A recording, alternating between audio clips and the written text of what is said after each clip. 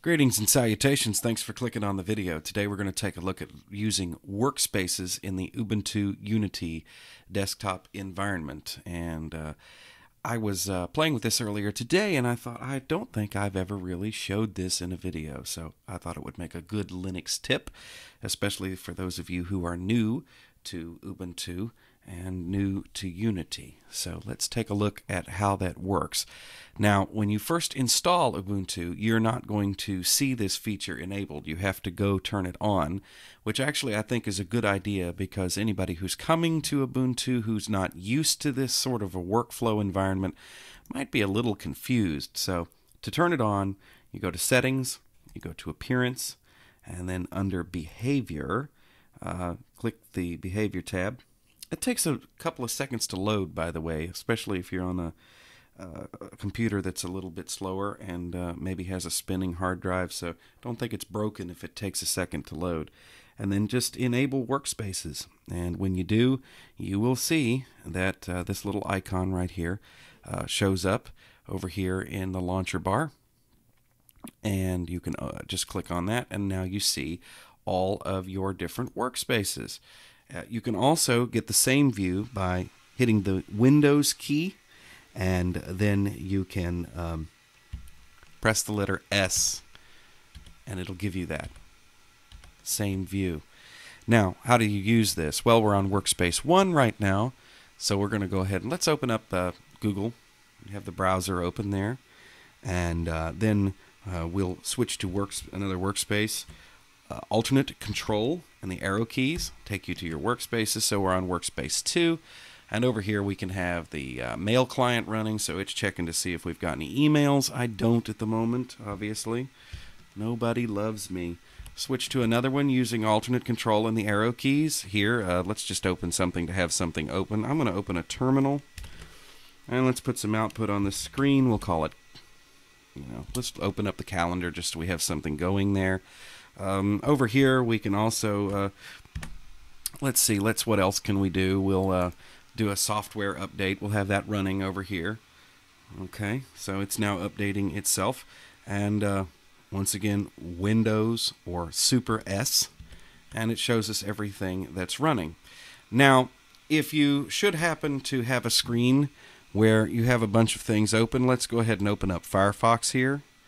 And let's say that we were also looking at Firefox and we were writing a document. Uh, so I'm going to open up LibreOffice Writer. I'm going to have that running as well. And um, that's going to take a second to load, obviously. Oh, it did load up. It loaded up in the background. Okay, so let's say that we already have like uh, three applications, and just for fun, I'm going to open up GR Sync here. We're not using it, but it's just an app to show you what I'm talking about. And uh, you realize that now that you have, you know, we have three apps on the screen on this particular workspace. If we want to move it, uh, then all we have to do is to go back to that scale mode, Windows S, or you can just use your mouse and click here and it'll show you. And uh, let's go ahead and we'll move LibreOffice over here uh, with the mail. So that's out of the way. And we'll put GR Sync over here with our software update and our terminal that's open. And um, go ahead and open that. And uh, we can uh, also move things around by um, alternate control shift and an arrow key. And so I moved to a workspace and I just moved um, the Firefox browser over here to uh, that workspace. And we can take a look and see that right there. Easy peasy. That's all there is to it. Now, as a, a, a, kind of a related thing is everybody's familiar with alternate tab, and as you can see, we have uh, several applications open here.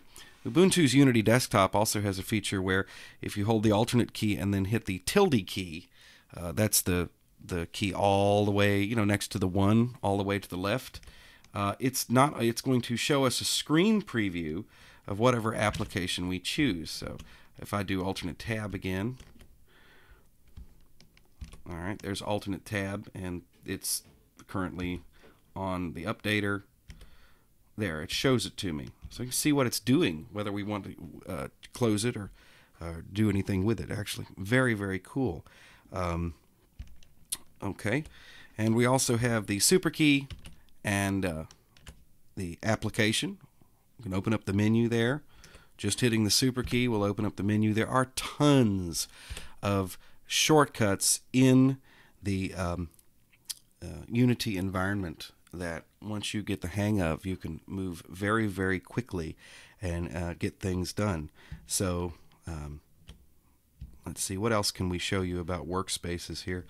Um, I showed you that you can drag, which is very nice. Just take it and put it wherever you want to. And when you're done, you just switch on whatever workspace you want to be on, and we can close that. Alternate and F4 automatically closes applications. Uh, so let's switch over here, and we'll do the same thing here. So all closed, and I'm going to click OK on that to make that go away. So now we've cleared out that workspace, and let's see what else can we do here. I keep hitting the wrong key, and I'm doing that because I'm doing a video. I do this all day anyway. And we just, this is how you can manage your workflow using workspaces on the Unity desktop. Actually, pretty cool, if you ask me.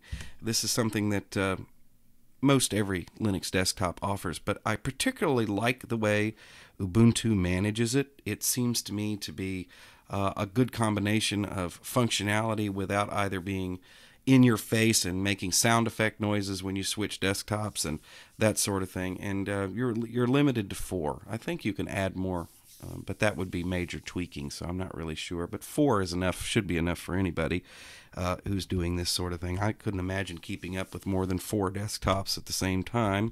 That would uh, get kind of, uh, you know what I mean, confusing. Uh, so there you go. And thank you for uh, watching the video. And don't forget uh, to check out ezeelinux.com. That's ezeelinux.com. If you'd like me to help you get started with Linux, check that out, and you can find out how. And uh, before I close the video, I just want to say that, you know, you're going to hear a lot of negative things in the Linux community about the Unity desktop. There are folks out there who just hate it for one reason or the other.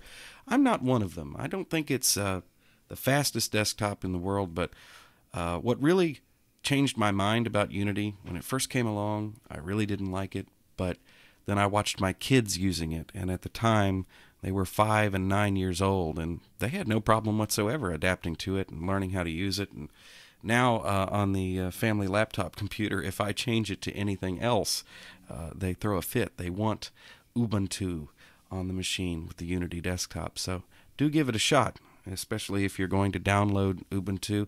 Don't automatically jump for that uh, other desktop just because somebody said it's better. Give Unity a try first. You can always switch later. Anyway, thanks for watching the video. We'll talk again soon.